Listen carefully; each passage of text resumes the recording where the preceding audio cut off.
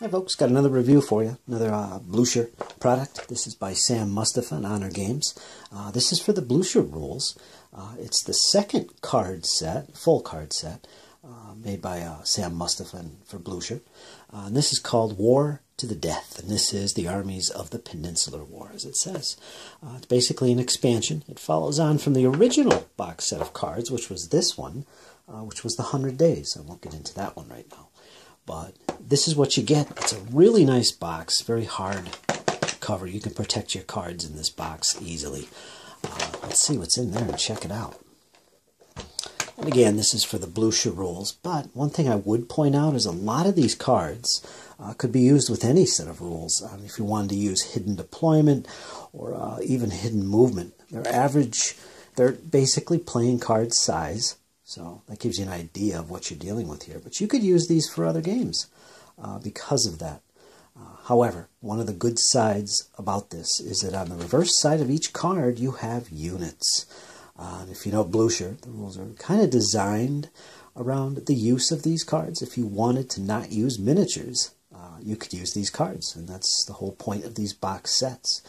Uh, in this, well, let's take a look at the card, actually. We got all the Elan numbers there for each unit.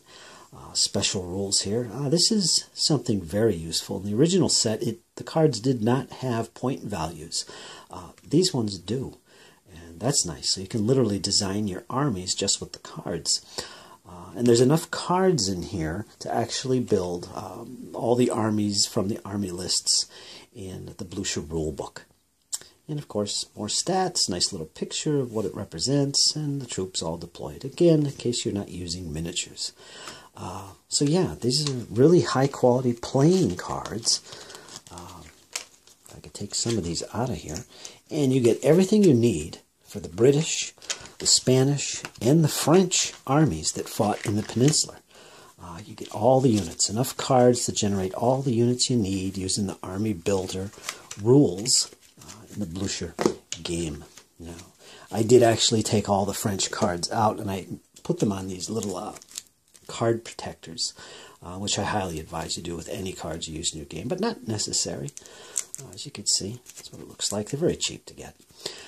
But another thing I should point out about these cards, unlike the 100 Days, is that this space here, which is typically in the 100 Days campaign set, uh, it, it, just had a unit ID. The actual units that took part in the 100 Days campaign would be listed here. Well, all the cards in the War to the Death set are blank, which means you could fill these in yourself. So I actually like that. That's a great uh, way to produce this set because it makes it very generic.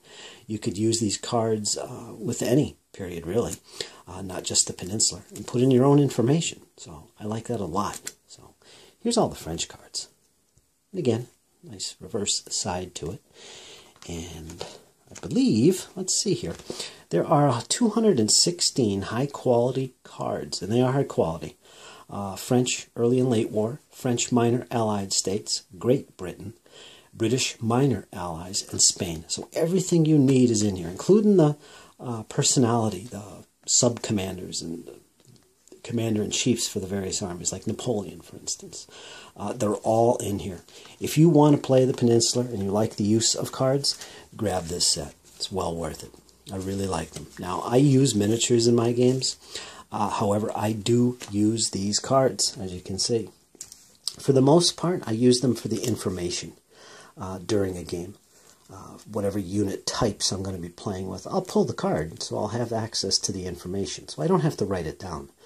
Uh, if I was playing with the right, with big base sizes like this, base widths, I could actually use these cards in my games uh, to show hidden uh, deployment, which would be very useful because they're beautiful cards. Um, so yeah, you can get all kinds of uses for these, not just with the Blucher rules. Uh, nice little box, well packed and stored, so you can't go wrong with that, right folks? And here's some of the British cards. Just look at the backs on that. Nice Union Jack. Frederick Wilhelm. All kinds of little characters in here from the Peninsular campaigns. Uh, and yeah, you could use these, like I said, from any of the campaigns that involve the British and the French uh, in the Napoleonic Wars. It doesn't have to be restricted to just the Peninsular campaigns.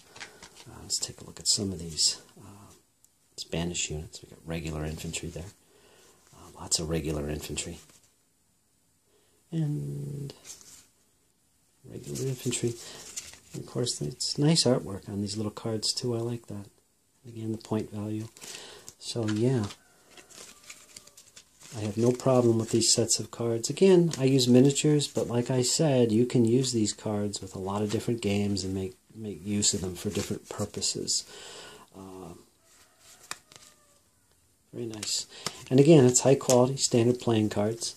Uh, yeah, highly recommended, folks. If you're not essential to playing Blucher, but if you want to give Blucher a try, or if you're interested in uh, completing your collection of Blucher items, you know, I, I highly do recommend this. Uh, again, not essential, but very useful. Uh, not just for Blucher, but for Napoleonic gaming in general. Uh, okay, that's about it. It's a really quick review, actually. Uh, you got any questions about it, just let me know. Leave them in the comments below. And if you want to see more reviews like this, also let me know. Any suggestions for uh, things you would like to see me review, let me know. Okay, folks, I hope you enjoy, and I'll see you again soon. Take care.